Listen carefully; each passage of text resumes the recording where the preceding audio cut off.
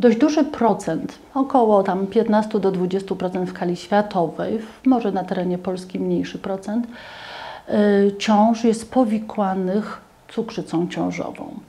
Bo w momencie y, ciąży my nie mówimy o zaburzeniach gospodarki węglowodanowej, nie mówimy o stanach przedcukrzycowych, mówimy o cukrzycy ciążowej. Pacjentki, które są y, narażone, powinny być skierowane już podczas pierwszej wizyty u ginekologa do badania poziomu glukozy w surowicy krwi żylnej. Pacjentki, y, jeśli mają prawidłowy taki wynik, powinny mieć wykonywaną krzywą cukrową między 24 a 28 tygodniem ciąży. Większość cukrzycy w ciąży prowadzimy, udaje nam się prowadzić tylko i wyłącznie postępowaniem behawioralnym, stosując odpowiednią dietę, tryb życia.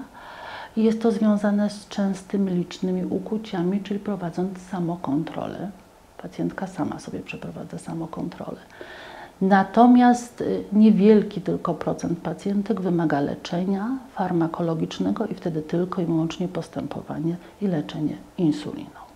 No, jest to bardzo istotne, ponieważ pacjentki posiadające cukrzycę w ciąży są bardziej narażone na powikłania w trakcie ciąży i na powikłania w trakcie porodu, jak również jest to bardzo istotne, ponieważ dziecko takiej pacjentki jest bardziej też narażone na powikłania, wynikające choćby z makrosomii, czyli zwiększonej masy płodu, co ma implikacje zarówno dla matki, jak i dla dziecka.